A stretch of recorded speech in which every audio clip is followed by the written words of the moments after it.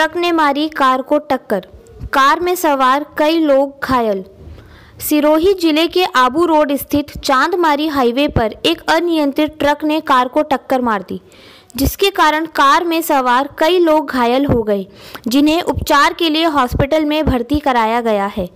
प्राप्त जानकारी के अनुसार, बीती रात एक ट्रक जो गुजरात की तरफ़ से तेज गति से आ रहा था, तभी सामने से आती कार में उसने जोरदार टक्कर मार दी।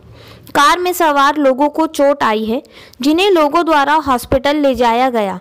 पुलिस ने मौके पर पहुंचकर ट्रक को कब्जे में ले लिया है। रिपोर्ट आबू रोड से रवि कुमार।